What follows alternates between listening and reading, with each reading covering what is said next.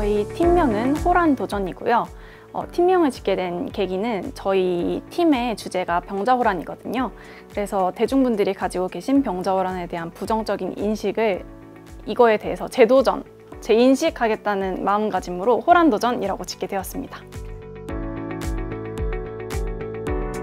그래서 이번 공모전에 이제 체계적인 멘토링 프로그램이 있어서 어, 관심을 가지게 되었고 또 평소에 관심 있었던 대탈출이라는 프로그램을 저희만의 방식으로 구현해보고 싶어서 좋은 팀원들과 함께 도전해보고 싶어서 지원하게 되었습니다. 발표 나기 한 30분 전부터 팀장님이랑 같이 전화를 했었는데 합격을 된 거, 합격된 걸 보자마자 너무 행복해가지고 소리 질렀던 기억이 있습니다. 저희가 병자호란을 중심으로 하다 보니까 병자호란을 전공하고 계신 석사과정생에 계신 분을 섭외를 했고요.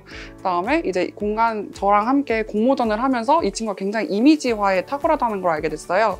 그래가지고 이제 저희의 공간 이미지화를 담당해줄 이제 친구를 또 모집을 했습니다. 그리고 마지막으로 저와 함께 학술제를 하면서 이제 이 친구가 어, 자료조사에 굉장히 능력이 탁월하다는 걸 알게 되어서 이제 이 친구도 이제 섭외를 해서 각자 분야에 맞게 이제 섭외를 하게 되었습니다.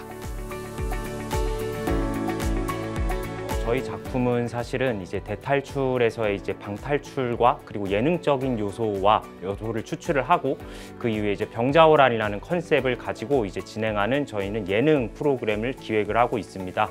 출연자들이 이제 이런 이제 여러 가지 어, 방탈출을 이제 통과를 하고 탈출을 함으로써 이제 어떤 예능적인 요소와 동시에 이제 병자호란을 배경으로 하다 보니까 어떤 역사적인 소재와 그리고 교훈들에 대한 어떤 이런 부분들을 좀 간접적으로 제시하는 것을 저희는 기획하고 있는 프로그램으로 현재 어, 삼고 있습니다.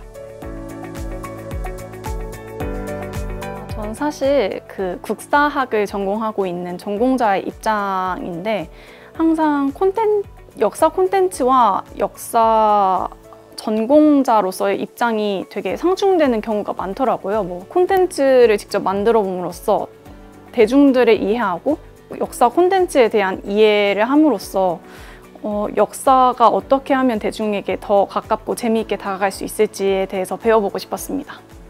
근세사라는 병자호란을 다루고 있는 이 공모전에 참여함으로써 다른 시대사에 대한 이해를 넓히고 싶어서 참여하게 되었던 것 같습니다. 사실 병자호란 자체가 굉장히 침울하고 어, 좀 대중들에게 안 좋은 인식들이 많이 어, 이미 내재되어 있을 것이라 생각을 하지만 저희는 저희 나름대로 병자호란들, 병자호란을 대중이 새롭게 재인식할 수 있도록 최선을 다해 노력을 할 테니 많은 어, 응원과 어, 박, 어, 응원 부탁드립니다. 호 카운트다운 지금까지 호란 도전이었습니다. 와! 와!